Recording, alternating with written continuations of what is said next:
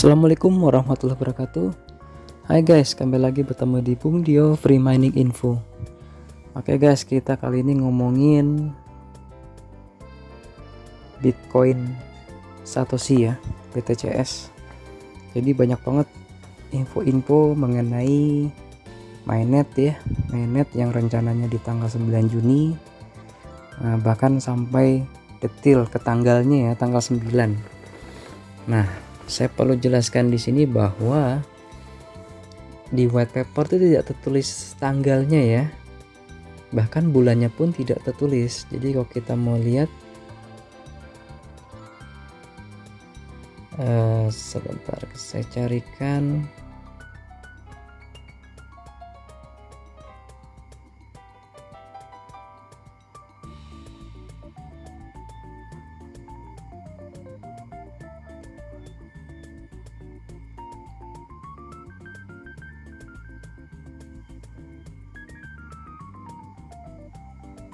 Nah ini dia. Uh, the testnet and technical white paper will be launched in first quarter of 2022. Jadi testnet sama technical tech, uh, white paper itu akan diluncurkan di quarter pertama 2022. Quarter pertama. Jadi satu tahun kalau quarter itu kuartal ya, 4, 4 bulan. Jadi kuartal pertama yang 4 bulan pertama di 2022. Jadi Januari, Februari, Maret, April. Nah, dari Januari sampai April ini kita sudah ada kan testnetnya ya. Testnetnya sudah jalan eh, yang menggunakan eh, MetaMask itu ya, itu sudah. Nah, terus sekarang yang kelanjutannya adalah official mainnet. Mainnet secara resmi akan diluncurkan di kuarter kedua tahun 2022 jadi disebutkan quarter kedua ya teman-teman ya. Quarter kedua itu berarti 4 bulan kedua. Tadi quarter pertama, kuartal pertama adalah Januari sampai dengan April, itu 4 bulan. Selanjutnya quarter kedua adalah Mei, Juni, Juli, Agustus. 4 bulan itu. Nah, kita sini sekarang ada di bulan Mei.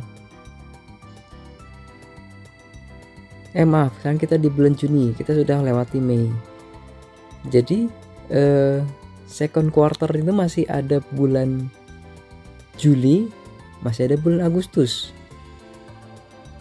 Dan Juni juga baru awal ya baru awal Juni. Jadi masih tiga bulan lagi. Jadi tiga bulan ini yang kita belum tentu apakah di di bulan Juni atau Juli atau Agustus yang muncul uh, munculnya atau diluncurkannya mainnet yang official atau yang resmi Nah, gitu teman-teman ya. Jadi saya mau meluruskan.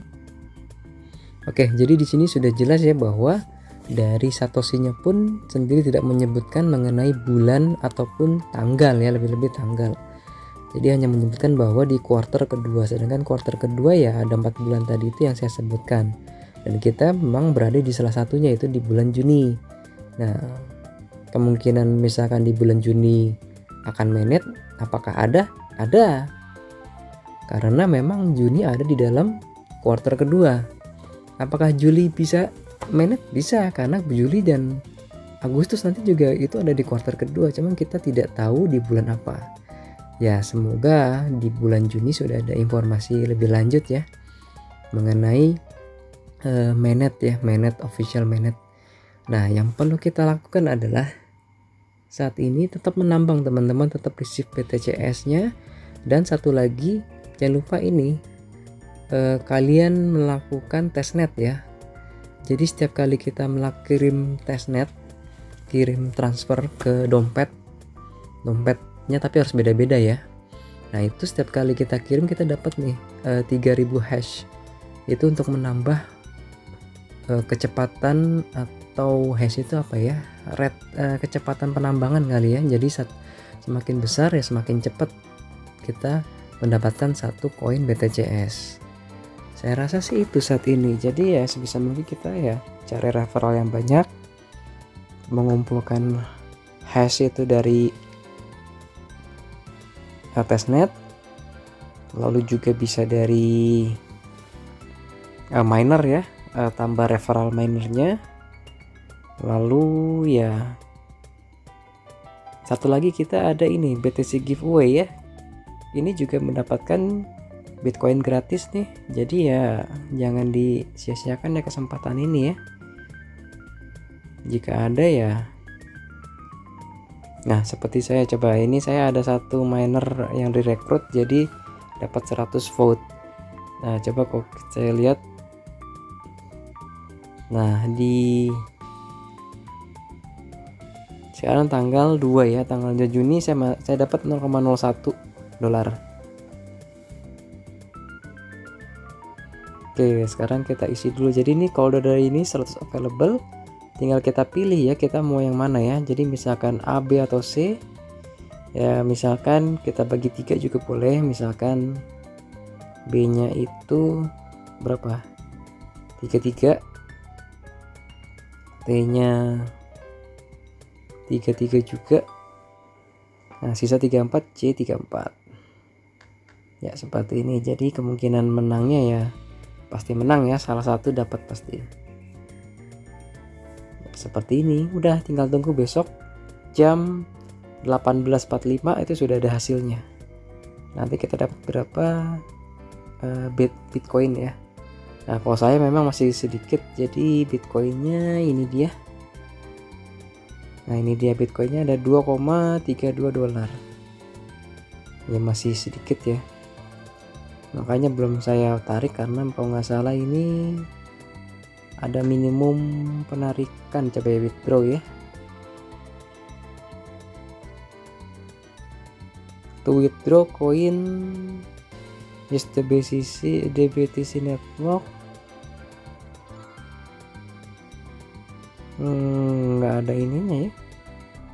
Oh ini minimal 0,0002 itu bisa Nah, karena saya kan hmm, 0,0007759 nolnya 4 ya. Sedangkan untuk withdraw itu minimal nolnya 3 jadi masih kurang ya teman-teman ya makanya belum saya tarik biarin dulu aja di situ Oke, saya rasa itu aja ya teman-teman ya. Jadi sekali lagi ya jangan terlalu terpaku dengan mainnet. Ya bolehlah kita me, apa ya bercita-cita atau mempunyai impian karena namanya impian tuh harus setinggi mungkin ya. Namanya juga mimpi. Kalau jatuh ya nggak sakit kan mimpi doang. Jadi nggak ada salahnya dan memang namanya mimpi jangan tanggung-tanggung. Harus sampai setinggi langit. Oke, semoga ya kita berharap semoga di bulan Juni ini ada uh, berita gembira ya. Entah itu mainnet atau apa pun ya kita tunggu saja dari tim uh, core tim BTCS-nya. Oke, saya rasa begitu dulu teman-teman ya. Jadi saran saya ya buat teman-teman semua ya fokus mining aja. Fokus mining jadi uh, tidak usah terlalu gembar-gembor atau meng-share info-info mengenai mainnet ya tanggal 9 Juni atau tanggal berapa Juni lah itu. Tidak usah. Jadi fokus saja ya. Kalaupun mau nge-share mungkin dari white paper yang tadi itu bahwa di kuartal kedua. Nah kita sudah di kuartal kedua nih. Tinggal ya tunggu tanggal mainnya saja ya. Oke saya rasa itu dulu teman-teman ya. Terima kasih sudah menonton video ini. Semoga video ini bermanfaat Assalamualaikum warahmatullahi wabarakatuh.